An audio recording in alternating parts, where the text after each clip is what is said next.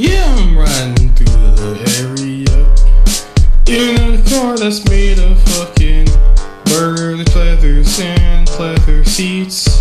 And I gotta meet the bitch who says she works at the swap meet, I think, or so she said. I don't know where she lives, but I know that she's not alive. She's dead